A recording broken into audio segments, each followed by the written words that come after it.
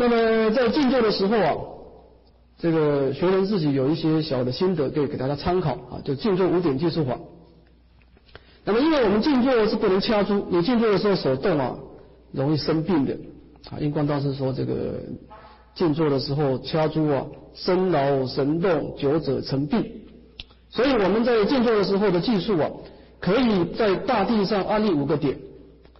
然后呢，我们看这个这个表啊，这个右上角是第一个点，然后二三四五，那每一个点你就练十声佛号，三三四练完第一个点，你就移到第二个点上来。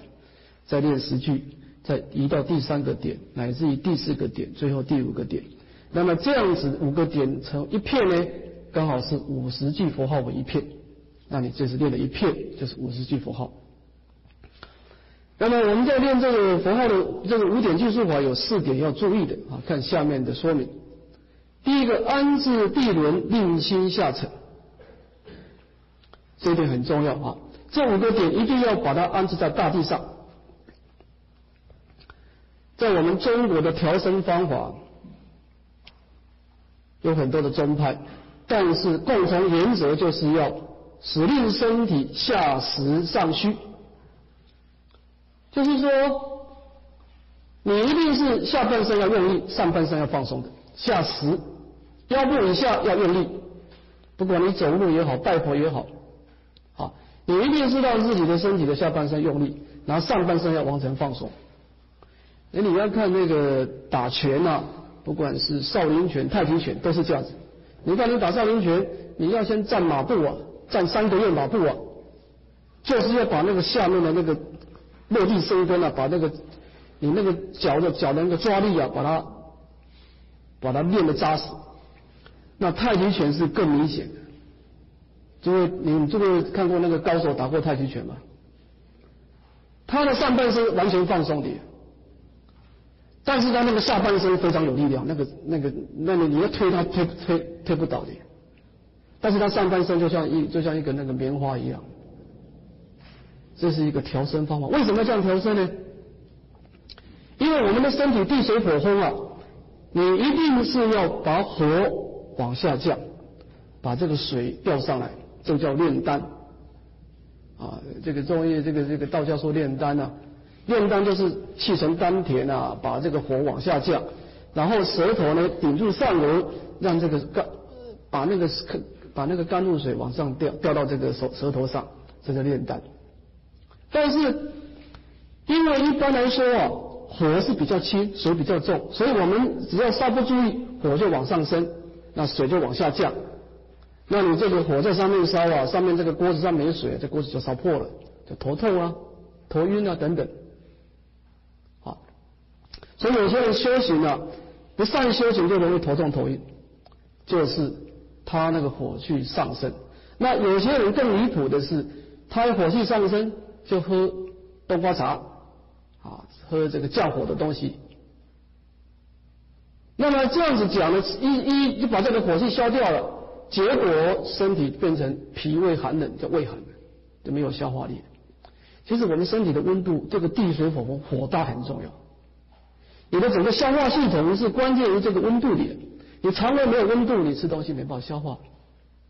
所以火本身是不是把它消灭，是把它还本归元，把它导引到下部去。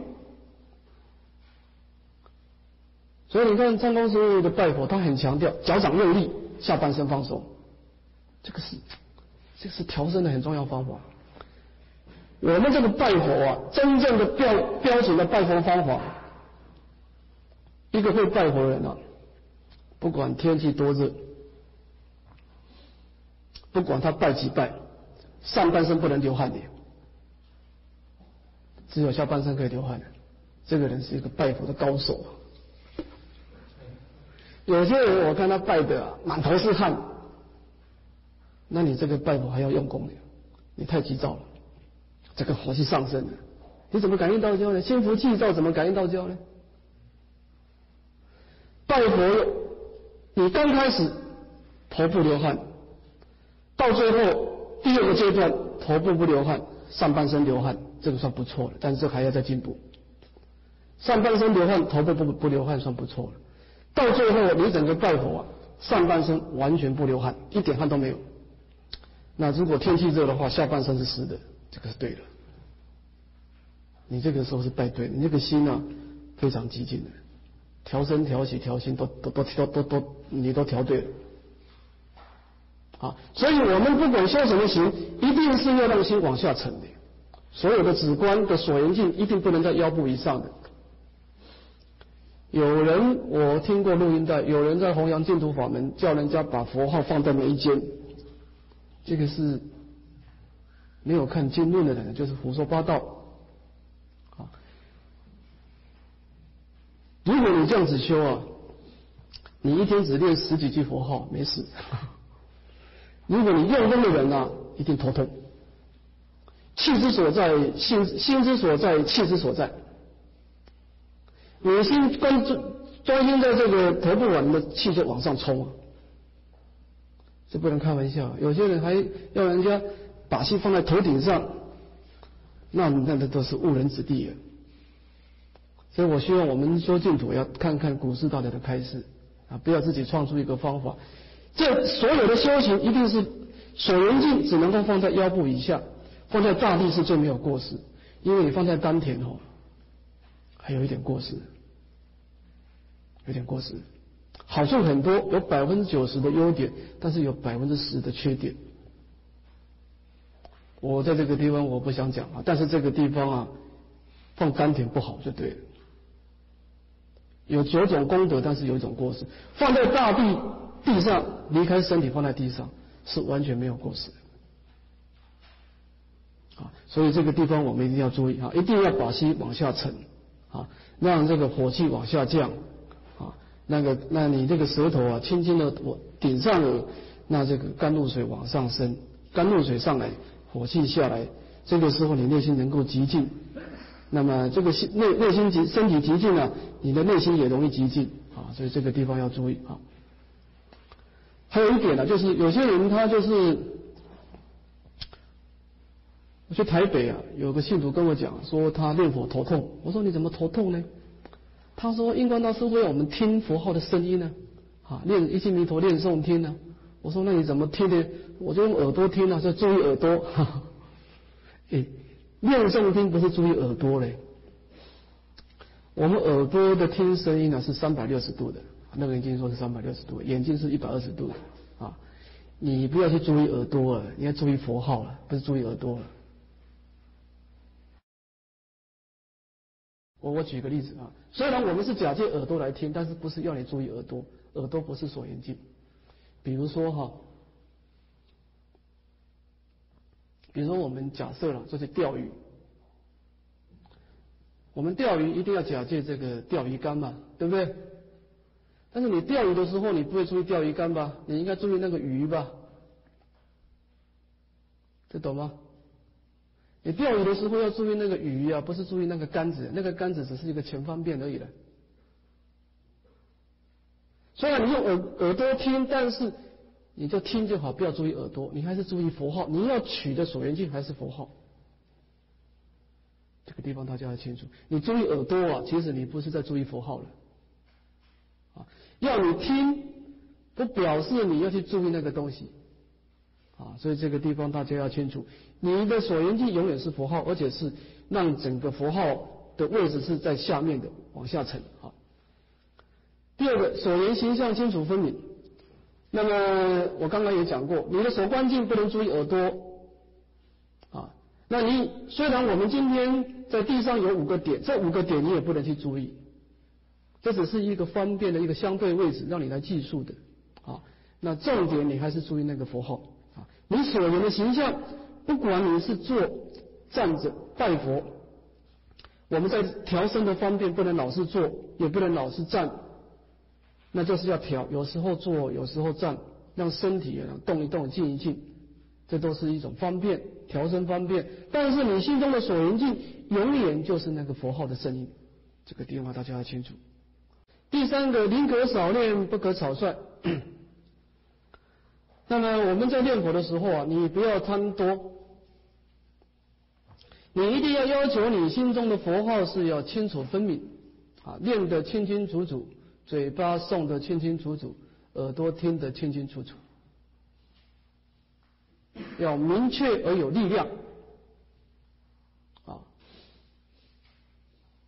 我们过去在佛学院啊，我们几个念佛的法师啊，我们以前的自我标准啊，就是这个五点计数法。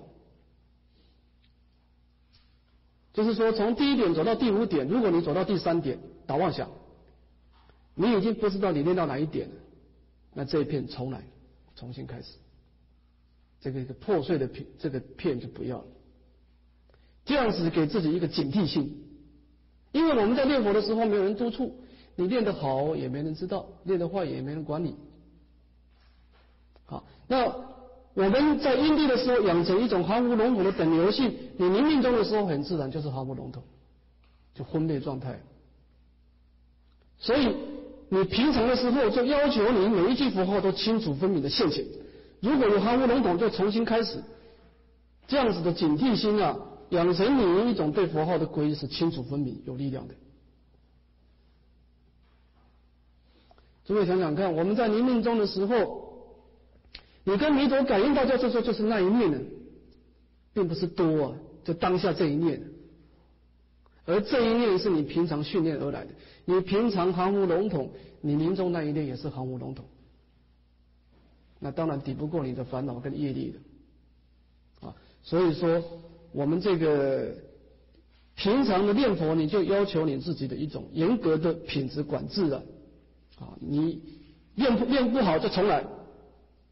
那么你就会开始专心了，就你就自己会要要求你自己专心了啊。第四个，先依技术，再求圆融。那么我们一般人是容易懈怠啊，说我的反正我一天呢心不离佛啊，其实你不心不离佛，你念佛的时间很少了啊，都打妄想多了。所以你一定有自己一个定课，每天有一定的静坐，那么要求你念几片才结束啊？要我们这个方法。因为我都是练六字啊，可能比较慢。要练十片的话，要二十五分钟。你二十，你要练这个四十片呢，就五十分钟。你要一天练二十片就不错了，连续练二十片啊。或者刚开始啊，可以不要先要求那么高，先要求自己练五片看一看，完整的五片，中间有错乱重来。你试试看，你会发现练一开始练五片都不容易的，你才知道你的妄想打得多厉害的。那个妄想的等流性的势力啊，用佛号来取代，刚开始是不容易。但是你一开始勉强自己，因为你信念不改变，你的念头不改变了，打的念头死，喜入华生活。你念头不在因地的时候好好的把它调和过来啊，那你临命中的时候完蛋了。所以你一定要趁你精神体力好的时候，赶快把你那个强大的烦恼的妄想的势力把它扭转过来。让你的心中的佛号永远是一个最强的势力。那妄想虽然说不能断，但起码淡薄一点。啊，这个就是我们要注意点啊。刚开始先计数，然后慢慢的，你这个佛号运转的正常了，你计数也好，不计数也好，那就是行住坐卧五点计数法，一记弥陀念诵经，十记成片三三四。你连五点计数法都不需要了，那佛号就任意的现前。啊，但是刚开始先有一个目标。会好一点，啊，是这个意思的。